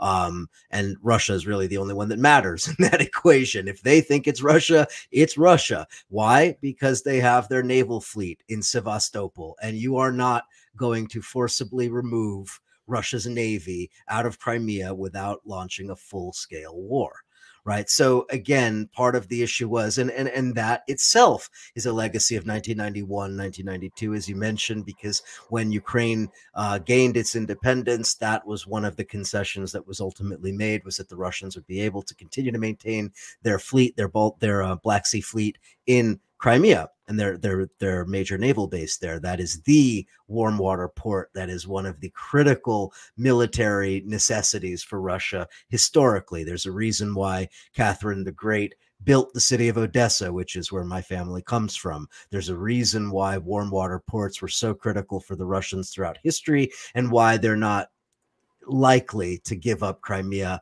uh, without escalating to some kind of a full scale war. I don't know what that means. Tactical nukes are probably one of the possibilities. But anyway, uh, so yeah, I agree with you. Um, I also think that unfortunately, there's no good solution here, and there's only going to be bad choices that are going to have to be made. But I do think that at some point negotiation has to happen. And I think that at some point compromise is going to have to be reached. What that looks like, I don't know. I don't see how you can make the Ukrainians negotiate away more territory from their country when they are successfully counterattacking it just seems illogical to me to to try to force them to the negotiating table. At the same time, I also recognize that there are, repercussions to this war that are far larger than Ukraine. Um, ultimately, I do think that you know some kind of parallel track of negotiations whereby Ukraine and Russia are negotiating and also Russia and the West are negotiating over the sanctions and over other things and that both one is contingent upon the other in some kind of a framework. I mean that seems like the only possible way of getting out of something like this. Russia has to be uh uh uh you know somehow reincorporated to some degree into the global economy, or this war just goes on and on and on. And unfortunately, while I was incorrect about my initial prediction, which was, I will admit, in the uh, in in January and February, I said it was absolutely impossible that the Russians would invade Ukraine because it just seems so ludicrous to me and such a historic blunder. Well, the Russians did it they did commit that historic blunder. They have they have walked into this disaster for themselves, and it's a disaster really for all of us. Um, you know, so anyway, I think that ultimately, I mean, getting back to this issue of nationalisms, you know, I think that this is also uh, one of those one of those aspects where where people are missing the history. You know, these countries aren't are they're they're only countries as a result of imperial sort of intrigue the collapse of polish lithuanian empire which then gives rise to russian hegemony and what becomes the pale of settlement for jews uh, belarus and ukraine and uh, poland kind of come uh, emerge out of that historical period that then leads us into the Great Game, where the Russians and the uh, uh, the British were competing over Ottoman territories. That's how so many of the uh, uh Muslims were incorporated into the Russian Empire. That's how Russia expanded into Kazakhstan and uh, uh, elsewhere as well. And again, all of these countries, they're all major players in this. Kazakhstan, it's interesting. Have you noticed that nobody even remembers that Russia militarily invaded Kazakhstan in January of this year to prop up a government that was about to be ousted by a workers' uprising? The Russians literally did that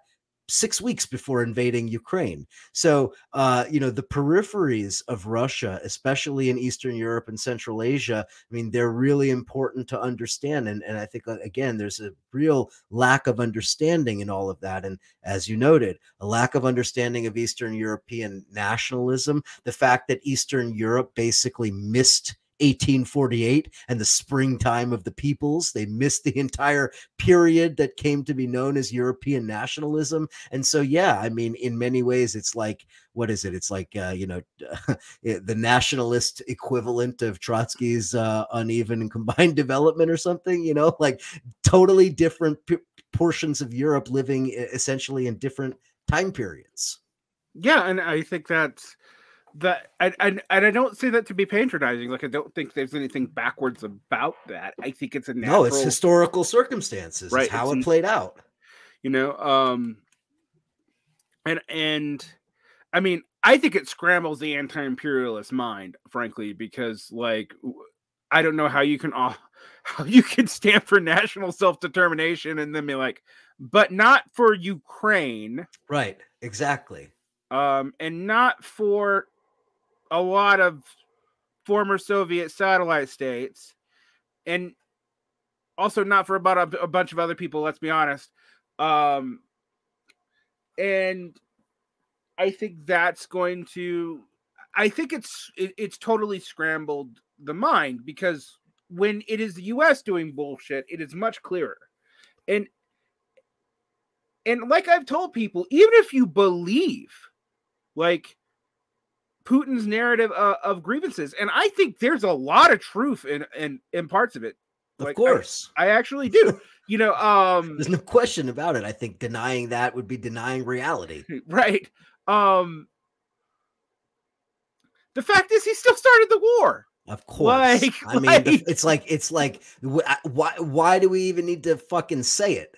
I mean, it's like it's the most self evident thing that could ever be and now it's hard to and you're right it's hard to imagine what to do because the one thing i will say is like one of the ironies of the Russian prior status after Euromaidan with the separatist republics is it actually consolidated Ukrainian identity that was not consolidated exactly. priorly. That's exactly uh, correct. Yep. Um, um, I mean, until that period, you did have people who were largely sympathetic to Russia, kind of spread out in the eastern portions of the country. They're still there, and I also don't know how you reincorporate them.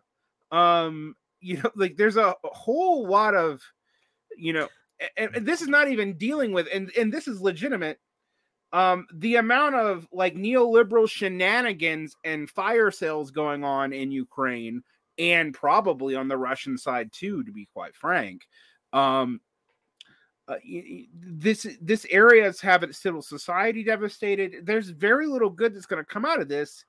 Um, but because if Russia engages in tactical tactical nuclear wars, it's hard it's hard for me to not see how that does not escalate. Like uh, it's impossible. It would it would it would necessarily escalate. Like you know, like at that point NATO gets involved. Has to. Um, um World War. It's World War. Uh, it, if you're lucky, it's not thermonuclear war. Yeah, like that, that's that's right. that's, the best option at that point, and we we do have to try to prevent that from happening. Um, uh, but you also can't ask people to just be like, well, you know, just give it up. Like when when when they didn't start the fight. Um, well, it's, um, it's like, so it's like what I'm saying. It's like how what are you supposed to ask the person who's who's just had their door kicked in? You're supposed to tell them, okay, come on in. Let's have some let's have some milk and cookies. Let's sit down. Let's talk about okay. So which of my things do you want to take? Right, and, and I'm going to say something I think is going to probably blow some people's minds. It's also going to create major para-fascist, post-fascist, and fascist movements throughout uh, Eastern Europe um, it, it will be like the way Afghanistan was for the Mujahideen. Um, because when you break down civil society, it's usually, frankly, the far right that can benefit from it because it's conservatizing. I mean, if if someone blow if someone blows up your your city and your sister dies, uh, you're gonna side with the most crazy motherfuckers in the room.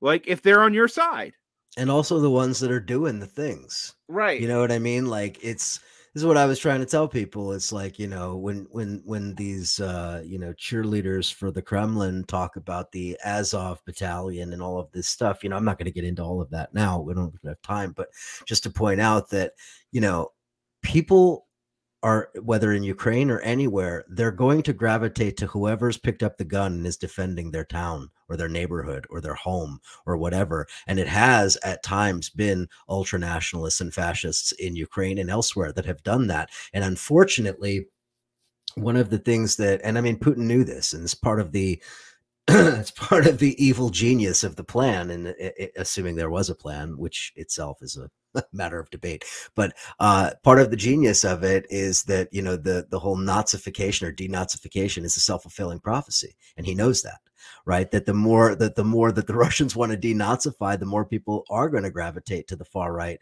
uh, in many different ways now what's interesting about that is the far right has not seemingly gained much ground in Ukraine. And part of the reason is because much has been consolidated into the Ukrainian project. I mean, into the Ukrainian military, into the Ukrainian national forces, and so forth. So, where there were organized paramilitaries before, to to large degree, they've kind of been folded in, you know, and that's kind of interesting now that you have this. Uh, by the way, did anybody did anybody else notice that Russia has pretty much dropped the denazification narrative? They've also dropped the uh, idea of uh, Ukraine's bio labs that are operated by the United States for the purposes of creating uh, uh chemical and biological weapons that are going to castrate all of uh, Russian children and turn them into transgendered lesbian yeah, Western freaks or whatever they were. This saying. is one thing that I that people miss about Russia's internal propaganda. There's so much weird anti-LGBTQ It's constant. And, it's constant. Like, and that's that. I, I think we actually maybe underplay that. Actually, in the West, weirdly, for all that you know, woke imperialism is a thing, um, and it is. Like, not denying that at all. Um, uh, there the fact that there is an explicitly increasingly reactionary um, social narrative tied to this that is being ignored by certain people is kind of being ignored or in some cases even picked up by. Like the like leftists picking up some of these talking points as if it's like we should start picking up 1936 1937 1941 soviet social policies which were major reversals of prior soviet social policies. Yeah. Um as as defense points is is kind of crazy to me.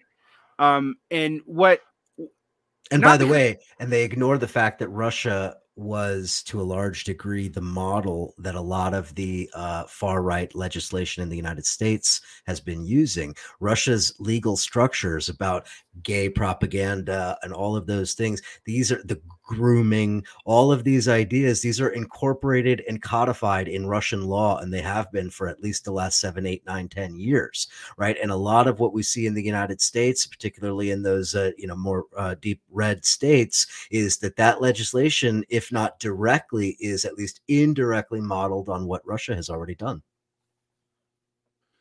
Yeah, and I, it's it's uh, kind of it worries me to to great to great degree watching left leftists being sucked up into this. Um, it also wor- it worries me to great degree that we are having so a very hard time.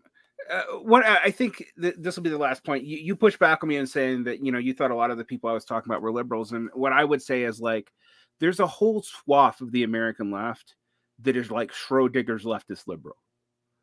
Um, like like depending on how you frame something to them, they can go either way.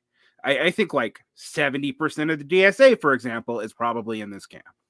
Um, and um, I worry about the recuperation towards American militarism, but I also worry about the left discrediting itself by being clear uh,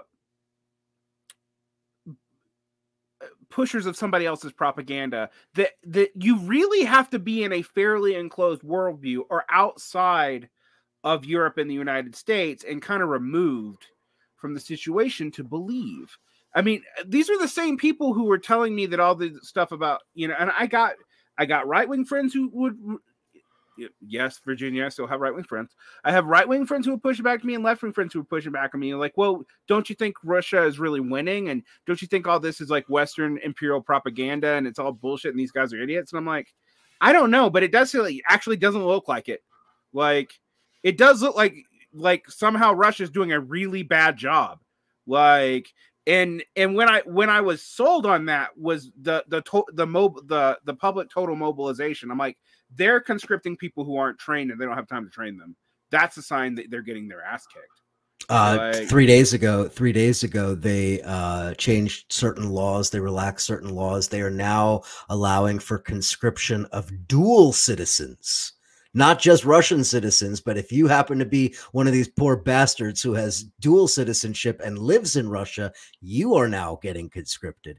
They have also changed the law to allow to make it easier for um, um, uh, residents, citizens of uh, CIS countries that is the commonwealth of independent states which is the organization that is the for, of the former soviet union. So russia plus the former soviet republics. If you are a citizen of one of those former soviet republics and you uh, volunteer to go fight in ukraine they're now opening a pathway to citizenship for you. And they also recently changed the law to allow for foreign non-cis citizens to volunteer to make it easier. And specifically there's talk of syrians Afghans, Iranians, and uh, uh, North Koreans, a handful of others that the Russians are potentially looking at bringing into Ukraine. And these are just three of the legal changes that were made like in the last week. So, I mean, you talk about desperation for for for warm bodies. I mean, the Russians are desperate for bodies. Right. And and they're losing to a country that's been totally devastated it. So, you know, one of the things that I think that even the West over like we we've seen in West reports like, oh, if the land were in Europe, uh, we might lose to Russia. And I, I want to point that out. The U.S. military has a reason to push those narratives. Of course, because it increases their ability Of to get course. busting. like, um, but I think a lot of people thought that the like in Afghanistan and Iraq, they thought, oh, it's just American incompetence. And I'm like, no, that's for like fourth generation warfare actually indicates this will happen to any major power that tries to do this. Like, like unless unless you are willing to wage a war of imminent extermination, and very few nations in the world are going to let you do that. Um, this is what you get, get stuck with, right? Um, so unless you're willing to quote Grozny the entirety of Ukraine and also deny most of the world its food, um, you're gonna have a problem. Like, and I think one of the things I will say is I think we're gonna see a lot of complications of uh, of stances towards Russia in Africa because of the food shortages. Um, and I don't think NATO will be blamed for all of that. Um, NATO does play a role in it. Uh, all the major powers do, actually, but but like E- Egypt and Egypt processes most of the grain for North Africa. Um, Egypt used to grow its own, but in the last 10 years, it's been getting it mostly from Ukraine. It's running out. Like, it's going to get bad. Um, yeah, I mean the Black Sea Grain, the, the Black Sea Grain Initiative, which was the deal that was, uh, you know, ultimately brokered by Turkey, uh, whereby Russia and Turkey and the United Nations jointly inspect uh, Ukrainian uh, uh, grain shipments and then eventually let them out. It's created a tremendous bottleneck. So even though Ukraine is exporting a I don't not 100% of their normal capacity, but it's something like a- a- 60, 70 yeah, I mean, a pretty big chunk of what they normally are producing, they're still producing and exporting, but it's not actually getting there is the problem for for a host of reasons. And yeah, I mean, I did a, I did several videos on the issue of you know going back to the very beginning of this war because it was very obvious that once once you know we came time to you know to the harvest and to the colder months that this was going to be a very real problem. And I know that Egypt has shifted; they were scrambling to find other countries to import from. I know that they did to some degree, um, but it, it it's not something that can just easily be replaced. Um, and this is another aspect of this, and this is again where so many of these quote unquote you know self-professed anti-imperialists just totally drop the ball in understanding the way in which this war and the continuation of this war, well, the, the initiation of it and the continuation of it is fanning the flames of other wars right so the the i think that we absolutely could very very realistically see a full-blown war in the horn of africa at some Yep. point in the next year to two years and that's partial- Azerbaijan and Armenia are going to go at it Azerbaijan- eventually. Azerbaijan and Armenia once again. They already had war in 2020 that Azerbaijan definitively and and, and quite handily uh, destroyed the Armenian military, and primarily because of Turkey. Turkey is the primary backer of Azerbaijan.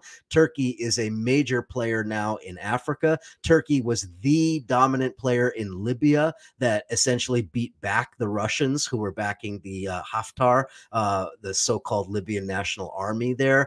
Um, so Turkey has uh, uh, sort of shown itself to be a major player now, and there's a reason why. I mean, Erdogan swooped into Ukraine to sign a deal with Zelensky for a drone factory three weeks before the Russians invaded. So it's like you know, Erdogan has been playing uh, uh, very uh, you know clever games here, and in fact. That would uh, remind me that uh, another aspect of the history that people really should understand is how the Ottoman period played out and why a Russia Turkey rivalry is very, very interesting to pay attention to in Central Asia.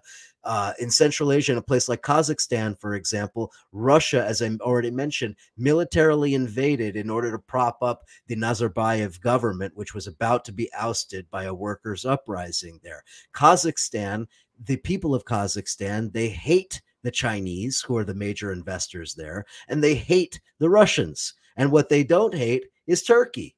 Isn't that interesting? Because the Kazakhs didn't, Kazakhstan, uh, Kazakh people didn't have a proper written language. They didn't look to the Russians. They looked to replace Russian with their own language, which they based off of Turkey and Turkish, right? The Turkic peoples. This is what neo Ottomanism is all about. Erdogan sees Turkey's uh, uh, rightful place as essentially being the hegemon all the way to the Uyghurs of Xinjiang, who are also Turkic peoples, right? So if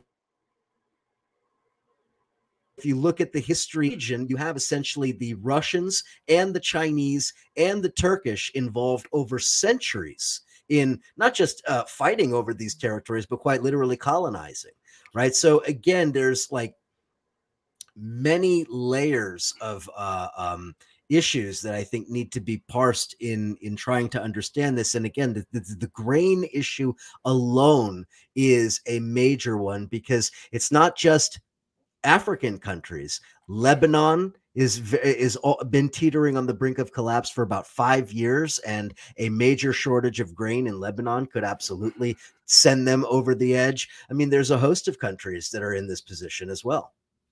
Yeah, I think this is this is an important point to kind of turn back on as the United States, and you know, I hate it because it's it's actually right centrists like Peter Zeihan who have been better at predicting this than most of the, the left, unfortunately.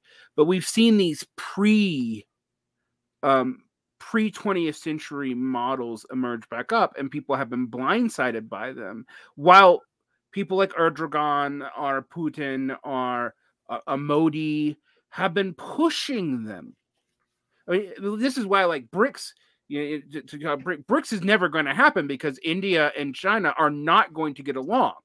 Like they will agree to to tacitly, softly back Russia as long as it actually doesn't really demand that much. But they don't play well together. And in fact, one of the things that we are seeing is Modi really building up his his navy in in in this to curtail and slow the growth of the Chinese.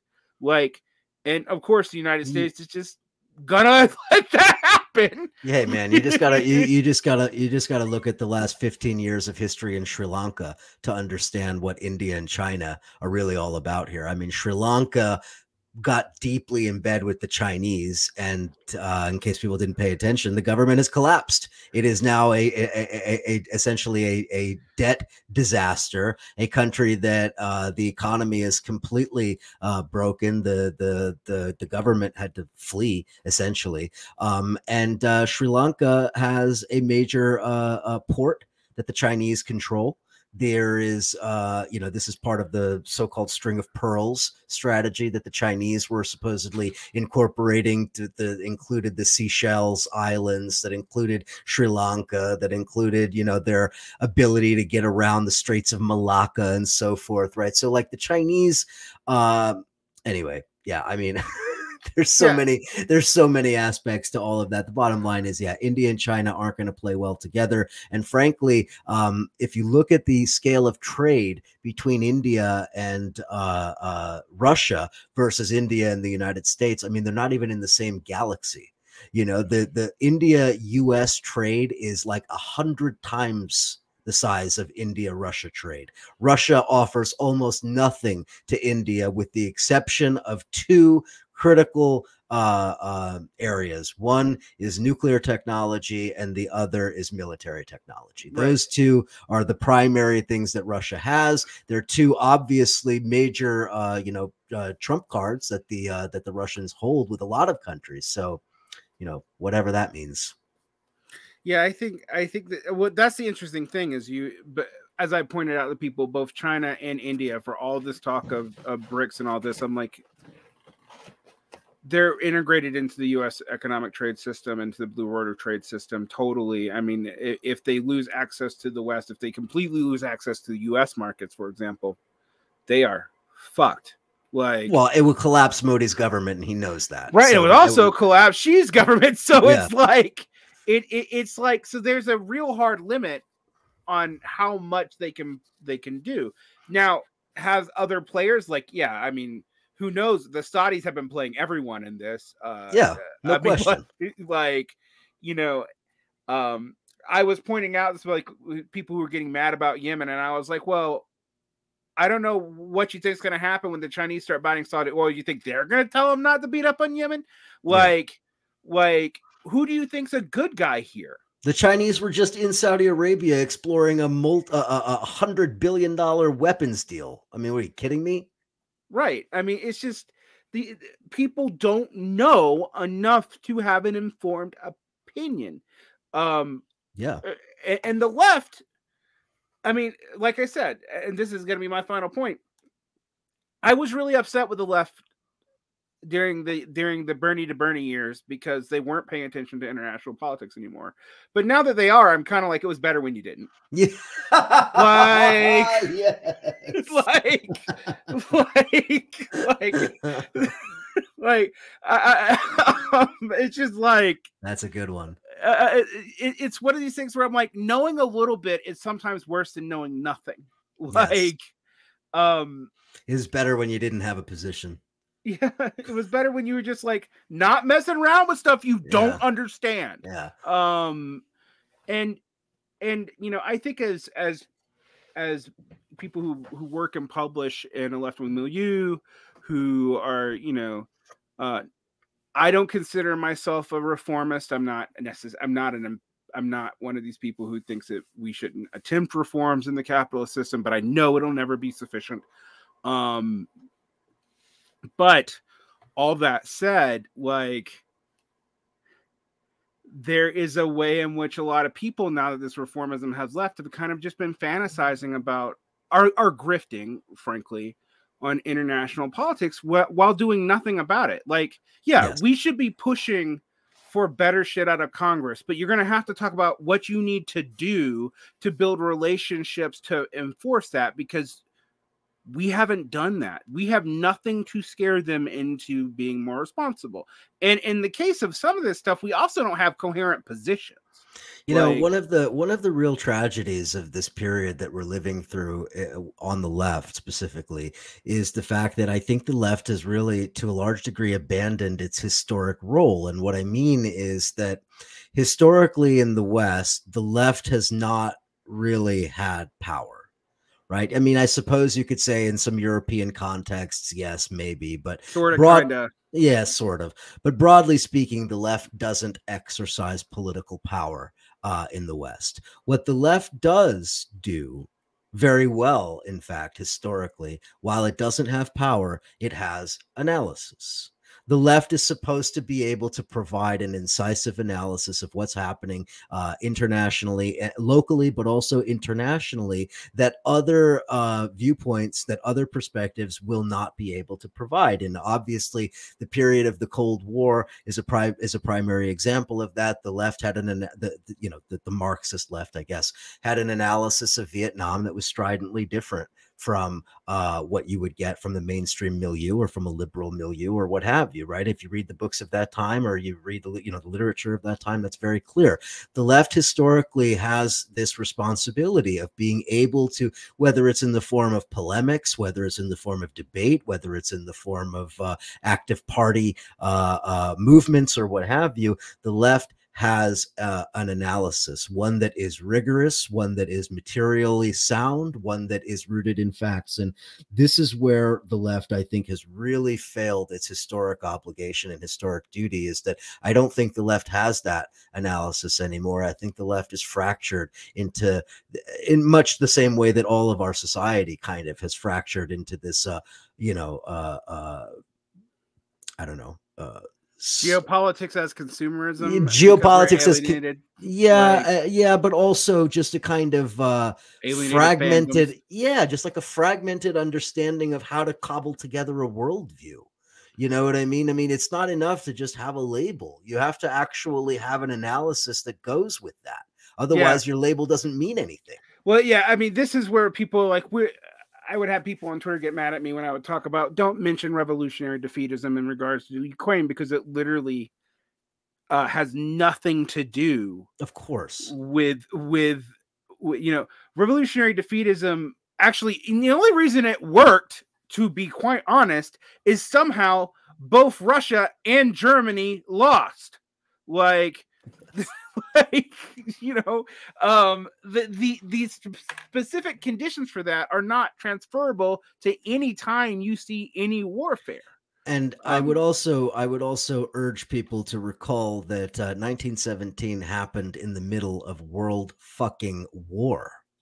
Like the conditions that world war creates create unique political circumstances, you know, where we're not in that situation right now. The idea that I, I don't even know what revolutionary defeatism, defeatism, is supposed to mean. Does anybody believe that uh, uh, Russian uh, victory in Ukraine would somehow lead to the end of the United States, a collapse of the U.S. government, a destabilization of the U.S. state, some uh, uh, a demilitarization? No, of course not. It, it would only lead, lead to, to, the breakup of NATO. it would wouldn't it wouldn't it would it would only lead to a massive increase in funding for US military and US adventurism in US weapons flowing all over the world. It's and on and on and on. I mean it's obvious what would happen right? But like you know they have to kind of continue to play out this sort of fantasy that they're all you know little little uh you know little uh, cosplaying Lenins or something you know? When the reality is they're just they're they're just grifting. They're just trying to make right. some money yeah I, I, mean i think that's that uh, that's the, the thing that sort of uh, become very obvious to me and uh, yes. there's there are there are material there are material implications in us society that was this the, the destruction of of uh of journalism has been a big one honestly uh i mean I loved it when people were paying Glenn Greenwald to actually do international reporting as opposed to just making stupid commentary about about uh, whatever stupid fight they're having on Twitter this week, or maybe uh, trying to recuperate Alex Jones as a victim figure or something. I mean, like, you know, I miss those days when those people actually were doing something interesting. And, you know, yes, some of that is moral character, but a lot of it, if we're completely honest, is the way the media has completely declined. And this is another reason why people can't make good decisions anymore or like know what the fuck is going on because let's be frank most even the new york times frankly is getting half its information from fucking twitter um which is why people freaked out about the, the, decline of twitter is because it's like it's not actually a major social this is a whole different thing it's not actually a major social media platform comparatively depending on which list is either the 16th or 20th largest um it's because it's what media figures use. Um, yep. and well, because the thing is that ultimately, like, I mean, you know, the dirty secret is that like they don't want to do work. Yeah, they don't want to do work. They don't want to pay, they, and eh, they don't want to pay for that work. Let's like, let's be honest. Like, there are reporters who'd love to actually do it, but they're not going to do it for no money. And you know, you and I got, may do it because we're ideologically motivated, but but that's not going to be the average reporter. No, um, of course not. I mean, part of the what you said at the very beginning of our conversation, which I thought was funny, and I kind of chuckled to myself about the, you know, about this label independent political analyst. You know, I mean, like, you want to know what it means to be an independent political analyst? It means having a nine to five fucking job. Right. You know what I mean? It means like having a job that allows you to actually be independent, right? If you're sitting at home and like this is all you do, then chances are you're not really independent, are you? Now, it may very well be that you're just like one of these content creators or whatever, but I see it. I was just, it was literally, I'm not going to, I'm not going to, eh, go into any details about it, but I was just speaking with a friend of mine about several relatively prominent uh, voices on the left uh, that are conspicuously silent about Ukraine, not because they support Russia. If they supported Russia, they wouldn't be silent, but they are silent. Why? Because they unfortunately have a base of subscribers to whom they have to reinforce whatever their preconceived notions are. And a lot of people are very nervous about losing their subscribers if they are seen to be taking the wrong position on one side or the other. And uh, it's pathetic, frankly. I'm I'm embarrassed by this. I'm embarrassed the fact that this is the state of uh, the left, that this is the state of journalism. This is something that I mean, it's the reason why I got into well, we used to call alternative media, although I don't know that that means anything anymore because there's millionaires in it. Yeah, so I don't know what I mean. Back when back back when I got into it, you were lucky if you could find anybody to pay you a dollar for anything. You know, I, I, mean? I, did leftist podcasting for seven fucking years at my cost. Yeah, like... uh, yeah. I started my first podcast in 2011. I don't think I've ever gotten out of the hole. I don't think I ever did.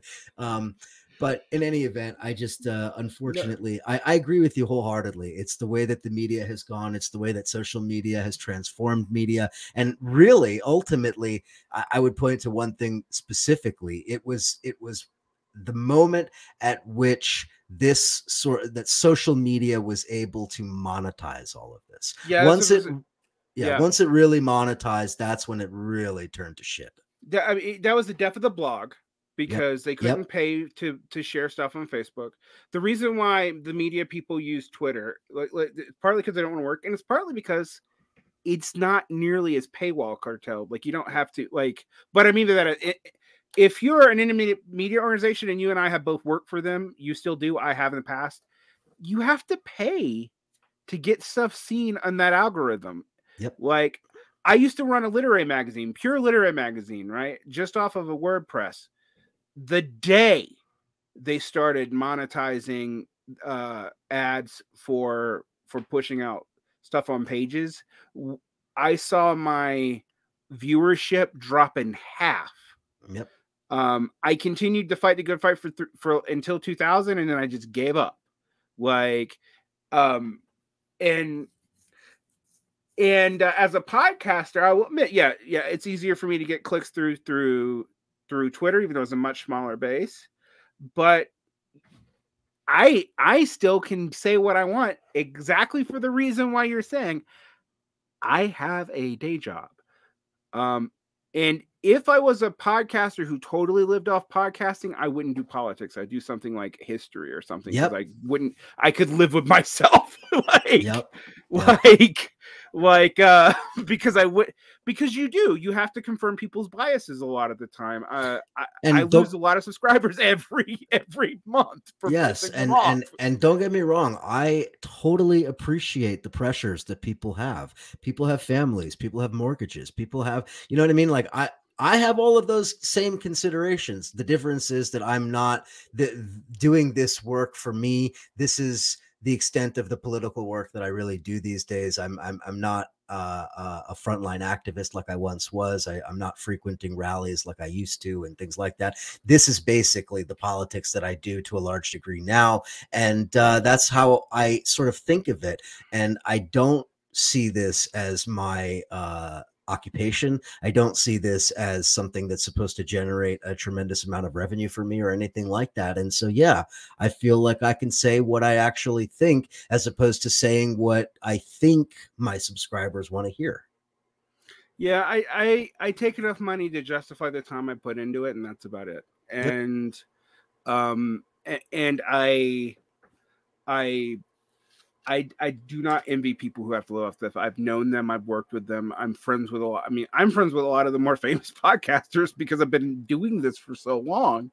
And uh, one of the things I'll say about that world is the top tier of millionaires, but the next tier down, they're like lucky to make thirty, forty thousand dollars a year doing this. And then people like me are like, yeah, I make a a grand or so after cost.